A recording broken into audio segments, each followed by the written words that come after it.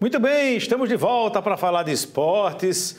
Gustavo Carneiro já está por aqui. É Carneiro, boa aqui, tarde. Anchieta. Boa tarde, tudo bom? Tudo sob controle. Chegou a hora da gente dar uma aliviada, né? É, pois No é. programa. O primeiro bloco de hoje foi muito pesado. Aí a gente vai aliviando, aliviando e termina com...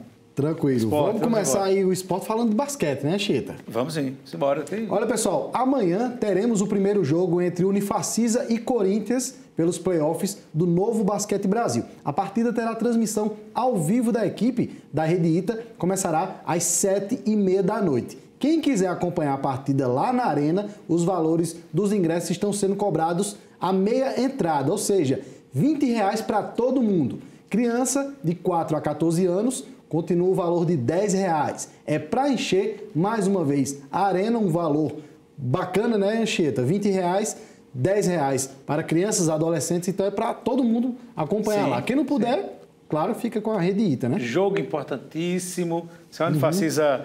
Abrir aqui, eh, o- ganhar esse jogo, ele abre a série aí com vantagem, né? Sim, com E aí certeza. tira a vantagem do Corinthians, né?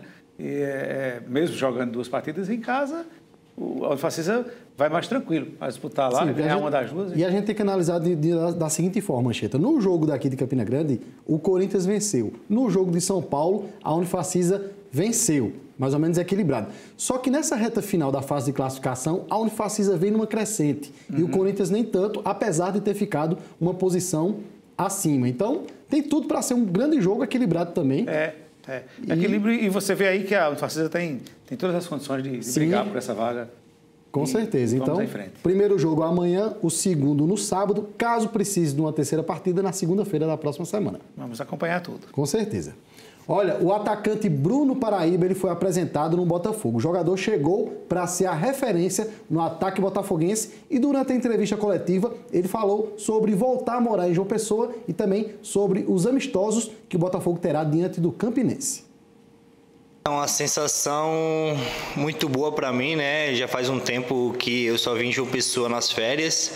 É, hoje eu estou podendo trabalhar aqui, tá do lado da minha família, tá no clube que eu sempre fui torcedor desde criança, ia para arquibancada e hoje podendo estar defendendo essas cores do maior clube da Paraíba é um prazer imenso e espero poder contribuir aí e ajudar todos os objetivos aí do clube. Todo mundo sabe da importância do jogo, né? É, da preparação, é, por ser uma preparação, mas a gente vai entrar ali em campo pensando que é valendo três pontos. Ninguém quer perder um clássico, né? Ainda contra o Campinense. Vamos entrar com tudo aí, se Deus quiser aí, conseguir as duas vitórias. Sabemos que no começo do ano foi bastante conturbado aqui no Botafogo. É, esses amistosos aí é de tamanha importância aí para nós e para todo o elenco, porque a gente vai poder fazer o que o treinador está pedindo, né? Para chegar bem na competição.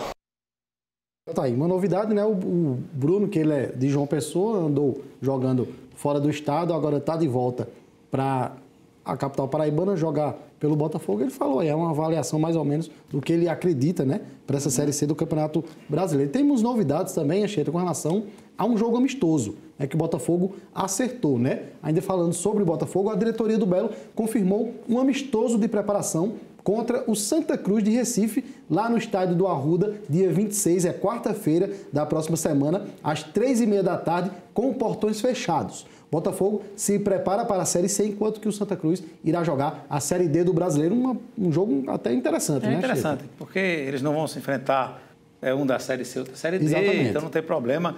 Os dois se preparando para as competições é um amistoso muito interessante. Com certeza. Vamos falar agora da Raposa? Vamos embora. Olha, no Campinense teve a apresentação do zagueiro Fredson, um atleta, ele estava na Portuguesa do Rio de Janeiro, onde chegou às semifinais da Taça Rio. Vamos acompanhar um pouco da entrevista feita pelo Campinense TV lá no estádio Renatão. Falar de motivação quando se trata de uma, de uma camisa né, do Campinense. É, ex-campeão paraibano, é campeão da Copa do Nordeste e, e, e eu fico feliz em estar podendo vestir esse, essa camisa aqui.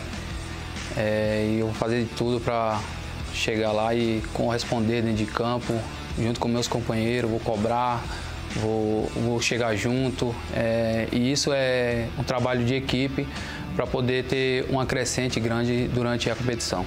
Rapaz, é, falar em grupo Eu estou surpreendido pelo pouco tempo de, de, de ambiente contra, com, com os companheiros, né? Os caras estão muito motivados, é como se tivesse entrosamento ali. Ah, mas o que, que falta da gente se entrosar mais ainda é dentro de campo. Então a gente tem um, um, um tempo aí para poder estar tá, tá junto aí trabalhando, é, entrosar mais, cada vez mais dentro de campo e poder fazer o, aquilo que, que o professor Luan pede. Cara, eu sou aquele, aquele jogador que gosta mesmo, que, que ajuda o companheiro do lado, que vai cobrar o tempo todo. E uma das minhas características é, é muita vontade, é força, é raça.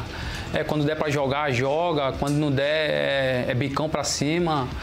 E vai ver um cara muito, muito com vontade em campo, muito aguerrido e com vontade, com muita vontade de vencer. É, aquela história, mais um jogador experiente, Sim. o Campinense tem trazido é, jogadores experientes, jogadores que já tiveram sucesso com.